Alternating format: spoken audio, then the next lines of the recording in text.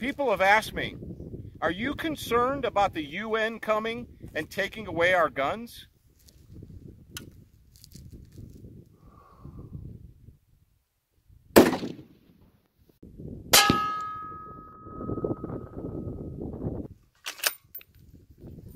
Not really.